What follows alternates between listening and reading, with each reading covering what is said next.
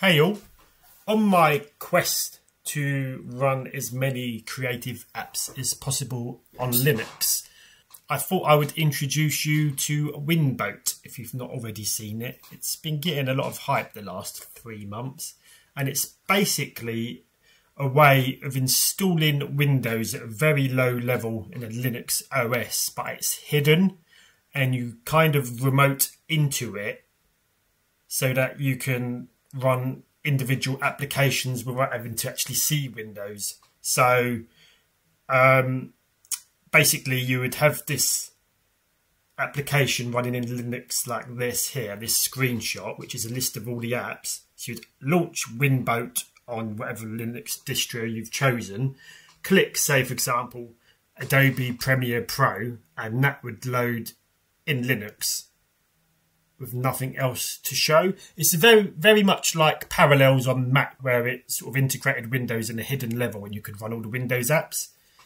So, um, with that being said, it's still a bit annoying having to install Windows on Linux, but this is probably the best solution we have up until now to get anything running, including Photoshop. So in this video, I'm just going to suggest a piece of software which will kind of shrink Windows into like a compatibility layer so you can strip it right back of any bloatware or telemetry.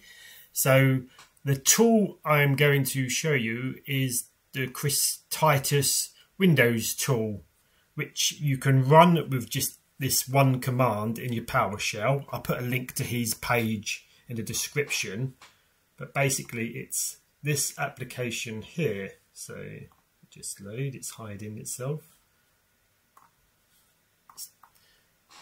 Okay, so you've got a few methods. If you've already got a Windows installation within Winboat, then you can use this tool to strip back Edge, turn off telemetry, and disable a few services and what have you. So on the first tab here, we've got an install tab and it's got install and uninstall. So you could select like Microsoft Edge and any other annoying Windows app that you no longer want to see and just click uninstall because obviously Windows wouldn't let you do that by default.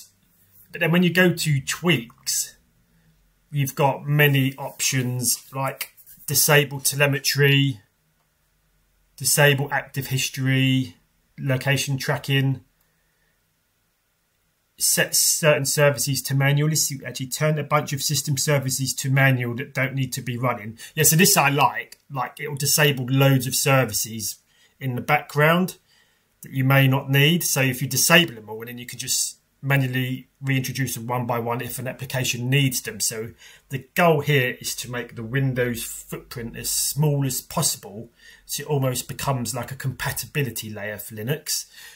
And in these advanced tweaks here, you've got things like Adobe debloat, because Adobe these days is like a virus. It really bloats your machine and sends so much data back and forth online.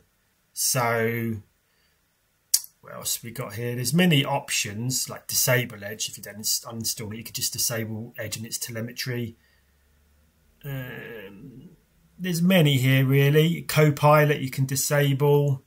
So it's well worth having a look at. But that being said, the tweaks wasn't the main thing I was going to get to. It's got a tab called Micro Win, which lets you prepare a Windows ISO with it already stripped back of like Windows bloat. So what you would do is you would go to the Windows website and download your ISO and then you would launch this utility from the Chris Titus Tech by copying this command in your PowerShell. Then you'd go back to the tool and you would select the ISO and then that will downsize the ISO without the bloat. So let's have a look here. It basically says it removes telemetry and tracking, creates a fast install, so it will just do a local user account, so you don't have to sit there and go through all the settings and die of boredom. and it's also got no internet requirements for install, and it's got apps debloat. So I need to get the actual list. Maybe look on his website for the list of apps, but I'd imagine Edge is in there. But yeah, so this micro win would, in a way, shrink Windows back so much that you could kind of call it a compatibility layer. I mean, it's still obviously for Windows, but so many services and products have been taken out of it. So I think this is the next best thing to Wine, really. It's um, Winboat is still a work in progress, and there's things I would like to see.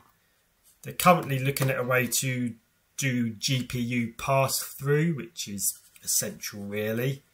Um, I'd like to see them introduce drag and drop, so you could have like a Windows application running, and then just drag your file into it.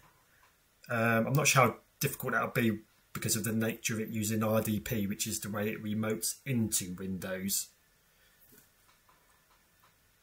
There's always the argument that, oh, it's just a virtual machine. And although it kind of is, because of the way you connect to it, it's a lot more lightweight than running a full virtual machine on top of Linux. So you'd still get 90 to 95% performance doing it this way. It's just a few quirks with like the drag and drop and GPU pass for at the moment. But if you're if you need to run an app that is not supported by Wine, then this is the best option we have at the moment. So anyway, it's just an introduction to this method. I may do a video of setting it up from start to finish. But um, as you can see at the moment, today I'm on my Windows PC in my home photography studio because uh, it's too cold to go out. I'm not getting to the office today. So, anyhow, that's all for now, and I'll catch you soon. Cheers.